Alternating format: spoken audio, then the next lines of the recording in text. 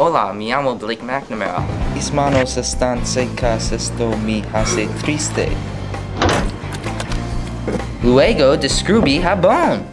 Muy bien, clase. Ahora mis manos no están secas y siempre mojado.